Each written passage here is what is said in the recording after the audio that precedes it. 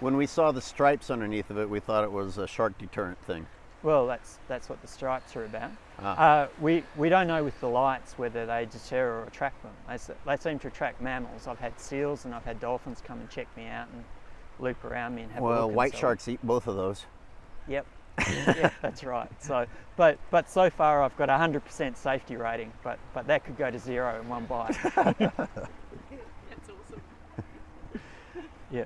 Uh, what about the fact that you're surfing at one of the times that they advise not to do so? Well, it's interesting that I'm, I mean I've I've talked to a few shark experts about whether I whether you are actually at more risk at, at dawn and at twilight. And I think the evidence is out on that really. I mean, the sharks don't get out of the water in the middle of the day. You know, they're there all the time. You're in their environment, so you're taking those risks. Um, certainly, there's some types of small fish that will cluster and feed around dawn and twilight, but I don't actually know that that makes any difference for sharks again, like you know, if you, the, the numbers of shark attacks are so small that you can't easily tell have there been more at dawn or twilight, have there been more when it's overcast or when it's sunny. And I don't think that, that the risk is that much greater. Uh, I was talking to a guy a couple of days ago when I was surfing up at Lighthouse who was saying that his mate had seen a seal taken there last month and they reckon it was like a four metre or so shark.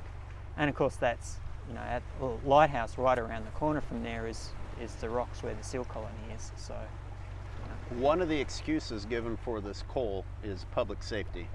And even some surfers we've spoken to have said, yeah, something's got to be done. Does having the drum lines in the water make you feel safer? no, no, I I actually feel less safe now when I'm in the in the water and I can see the buoys sitting out there. So I was surfing at Guillotine the other day, and you're sitting there and you can see. That You When- can see the yeah, drum lines you from can where see you're the drum surfing. lines. Yeah, there and also at, Ye- at Yallingup at the bubble as well. You know, we've got photos from the other day when I was surfing, and here's me turning, and there's the drum lines just behind me.